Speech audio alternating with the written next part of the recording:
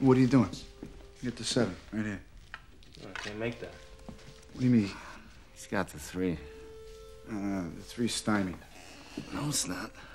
Milo, please, it's blocked. You can't see it from there. It's completely blocked. You gotta go with the seven. It's your only shot. Bank it right here. No, no, no. You gotta hit it bottom right here. All right, line it up. Take your time. Get down. Like that. Got it?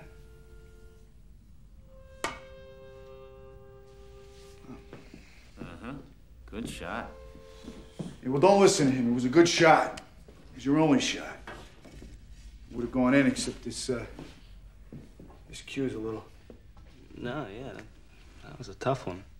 Yeah, I'd say there are tougher things in life, kid. Yeah, I guess. It's your shot. Ain't got nothing. Oh, Albo Gator it. What? Oh, Albo Gator. Oh, Albo what?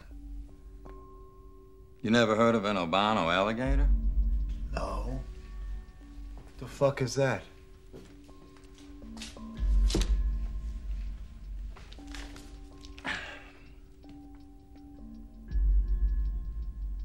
Down here we got gators, right? But every once in a while, one of them little things is born white. An albino. He's weak. Useless. Except for one thing. Sacrifice. The other gators will use him to gain new territory. See, what they do is they send him out in the open just waiting to get him killed. Because when some rival group of gators shows themselves in the open killing the albo gator, they surround and kill their rivals. No more albo gator. But no more rival gators neither. And new territory is definitely gained.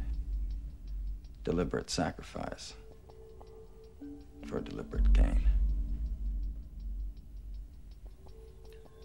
It's a weird fucking story, you know that?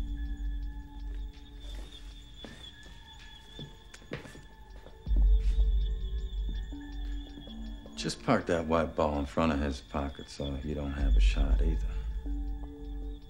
Albo Gator.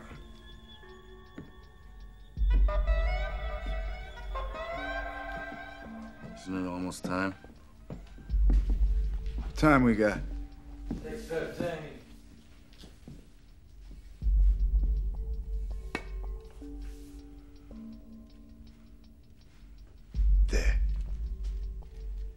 is